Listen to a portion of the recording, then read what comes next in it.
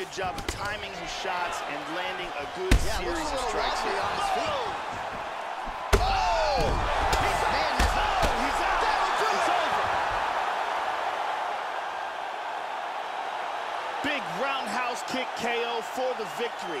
Well, that was a no-doubter, Joe, and he's made a career of knocking guys out with kicks, but that one right there might have just been the best yet. Caught the opponent flush, full force, outstanding extension with the leg, and really once he connected with the target, you knew the end of the fight was coming, and immediately his opponent goes to the canvas. A major, major result here in this division tonight.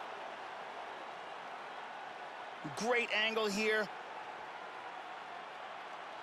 Boom! And then he's out.